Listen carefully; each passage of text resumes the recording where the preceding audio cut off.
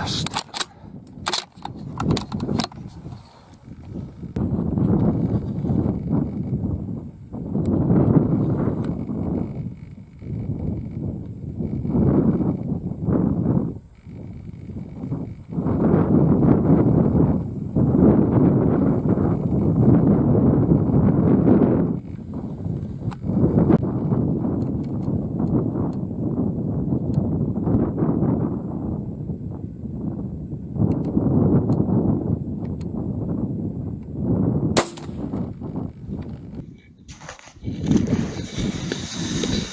В общем, ребята, к сожалению, лис занарился, залез в нору.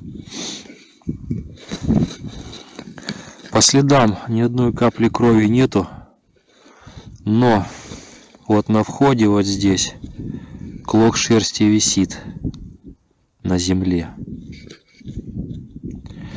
И вообще поведение его было такое, как будто все-таки я попал по нему.